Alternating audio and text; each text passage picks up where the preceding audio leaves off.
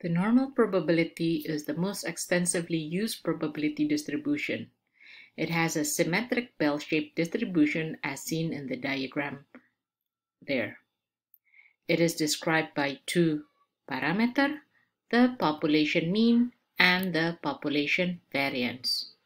And third, the normal distribution is asymptotic in the sense that the tail gets closer and closer to the horizontal axis but never touches it.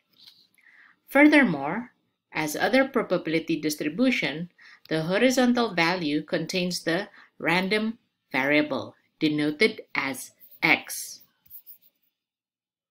Here, where the center is the mean value of the population. However, for normal probability distribution, the x is then transferred into the z-value.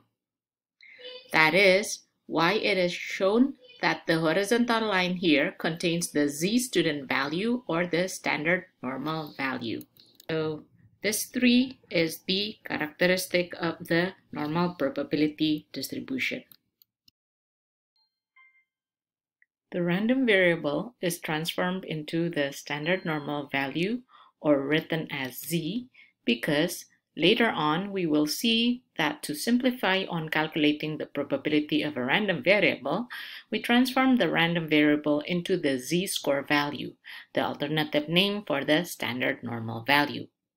Using the letter z to denote a variable with the standard normal distribution, we have the expected z equals to 0 and the standard deviation of z equals to 1 which means that the value z measures the number of standard deviation a given value is away from the mean.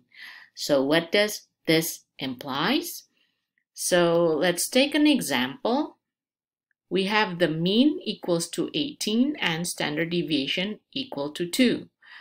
When the mean is 18, the standard, the z value is equal to 0.